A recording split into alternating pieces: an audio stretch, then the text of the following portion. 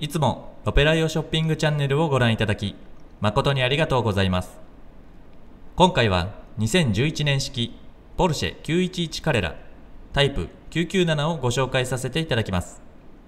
まず外装面の状態ですが、フロントバンパー複数箇所に飛び石、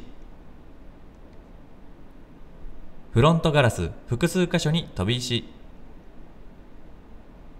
フロントバンパーに傷、右サイドミラーカバー割れ、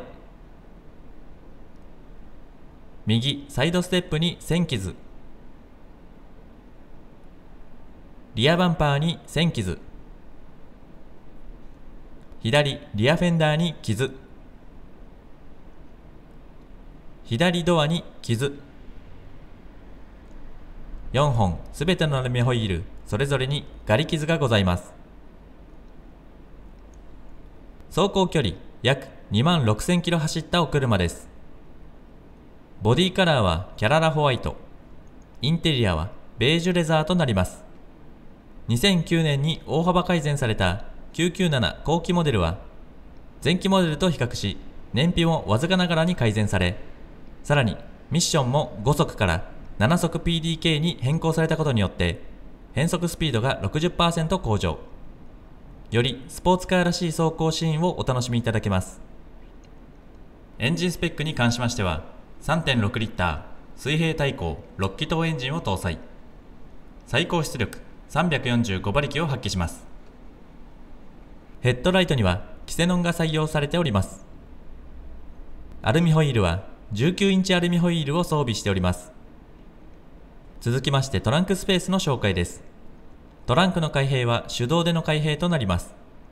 収納スペースはフロントへ配置。お手荷物が収納できるスペースを確保しております。続きましてインテリアのご紹介です。インテリアはベージュレザーシートとなります。運転席、助手席ともに若干の使用感がありますが、大きな破れ、すれがなく、良好な状態を保っております。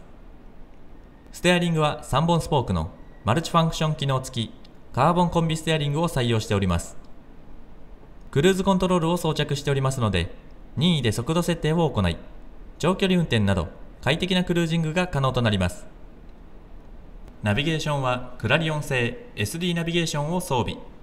バックカメラを装備しておりますので、バックカメラにて後方確認を行い、安全に駐車していただくことが可能となります。